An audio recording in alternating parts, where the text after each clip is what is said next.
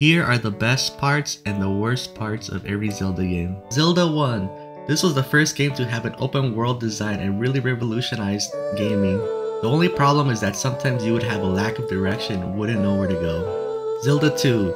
The gameplay was very unique compared to its predecessor, but the only problem is that the controls were very difficult to, to use and the game itself was really hard.